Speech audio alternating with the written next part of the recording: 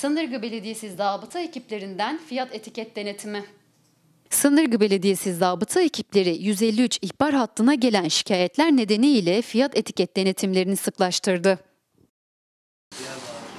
153 ihbar hattımıza e, bir dizi gelen şikayetleri değerlendirmek kapsamında 6502 sayılı tüketici kanunu ve buna bağlı çıkan yönetmelikler hükümleri çerçevesinde ilçemiz genelinde bir dizi marketlerde ve bakkallarda denetim kontrolümüz sürmektedir.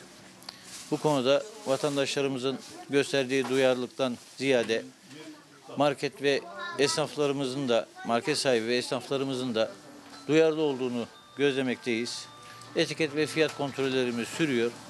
Bu konuda amacımız esnaflarımızın ve vatandaşlarımızın mağdur ol- olmamalarını sağlamaktır.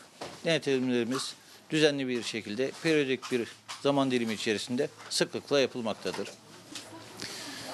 Bu konuda tespit etmiş olduğumuz bazı eksikliklerden dolayı e, görmüş olduğumuz aksaklara dair tutmuş olduğumuz tutanakları Ticaret İl Müdürlüğü'ne göndererek gerekli işlemlerin yapılmasını sağlamaktayız.